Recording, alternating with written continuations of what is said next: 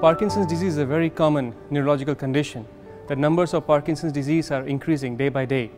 From the Global Disease Burden Study, we know that the numbers of Parkinson's were about 7 million in 2015, and the numbers will be doubling and will increase up to 13 million in 2040. There are many symptoms of Parkinson's disease, the early symptoms of which can be caught early, such as constipation, lack of smell sensation, change in handwriting, discomfort in legs during night time. The early motor symptoms or the symptoms that you and me can see are mostly tremor in the hands. A tremor is a rest tremor. When they are resting, you can see a tremor in the hands. Slowness in the walking pattern, slowness in daily uh, activities and walking changes. In the very early stages of the setup of the Cleveland Clinic in Abu Dhabi, we identified the gap of functional neurosurgery in the UAE. So we were very eager to set up a new program with the help and the backup of the Cleveland Clinic Foundation in the United States. I believe it's not enough to have the equipment available. You need a very good, engaged and mature team who's willing to create a new service line. So now I'm very proud to have this team available in the country, fully committed and eager to start the first cases like we did in 2020.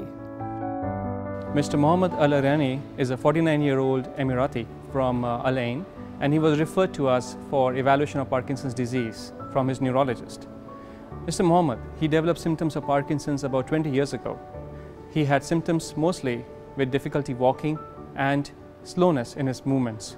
Overall, he noticed that his walking speed had slowed down because of Parkinson's symptoms. تم تشخيصي بمرض باركنسون لأول مرة في سنة 2000 في أبو ظبي كانت حياتي قبل العملية صعبة صعبة للغاية. وحتى جتني حالة نفسية بسبب الشيء هذا. سويت عندي عزلة من عن الناس. سوى كرهي للعمل بسبب الحالة اللي أنا فيها. ما أحب حد يشوفني ما أحب حد يشوفني وأنا بالحالة هذه.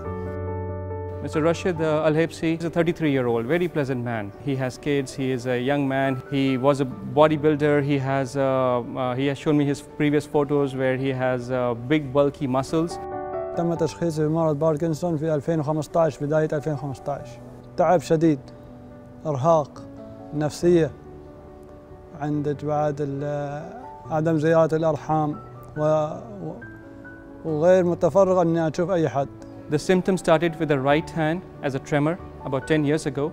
Then it progressed to the right leg and then he developed symptoms in the left hand as well. The symptoms made it difficult for him to walk. His quality of life severely got affected.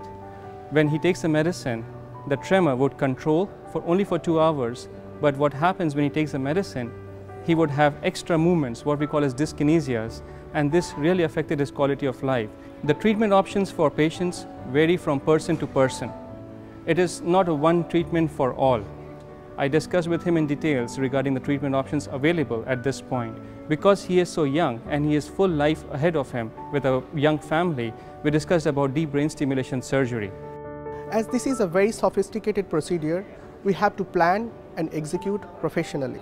The preparation starts from the time patient goes to MRI. We get very high quality MRI specific for DBS. Then we do an image fusion technique in a very sophisticated software. The day before surgery, we stop their medications. Then we use our intraoperative imaging and intraoperative neurophysiology to make sure we have reached the target and there is no side effects. After that, we make the patient awake and we check for their symptoms and we can see that how much we are able to control their tremors or rigidity. Most of the time there is we are able to control it completely. Once we are sure about the symptom control, we make them sleep again and we complete the rest of the surgery. Rashid had DBS surgery and after the uh, few sessions of DBS programming, we noted that uh, he had very good improvement in his symptoms. The tremor completely improved, even the extra movements did not happen now with each dose of medication. And he is able to spend time with his family and at his work without much of the tremor and the extra movements, the dyskinesia. حبيت إني أعمل العملية مع اني كنت قبل العملية تعبان. فقلت خلينا نجرب العملية يمكن نستوي زينين. والحمد لله الحين أحسن من أول. تغيرت حياتي للأحسن. كنت طبيعي رجعت طبيعي نفس قبل قبل الإصابة بالمرض. الحين الحمد لله أروح وأجي وأروح عند أهلي وأرحامي. Alhamdulillah Rabbil Alameen ala ni'mah Muhammad did significantly well after the DBS programming sessions. He was able to walk normally. His stiffness and slowness improved significantly. He was no more dependent on the medication. We were able to reduce his total dose of medication by more than 70%. I'm happy that the doctors are taking good care of him and I'm glad that he's feeling better. لكن الحين الحمد لله بعد العملية سوى عندي تواصل اجتماعي مع الناس.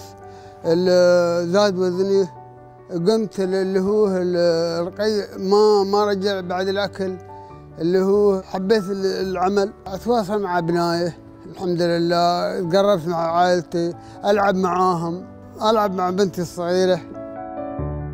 علما بأن المستشفى عنده آه، دكاترة مختصين آه، بأعلى مستوى وإذا كان عندهم الباركنسون بحالة صعبة أنصحهم بإجراء دي بي إس After having successfully completed the first functional neurosurgeries at the Cleveland Clinic, I believe this opens up unique opportunities for the entire healthcare sector in the UAE, that there's no need for patients to travel abroad.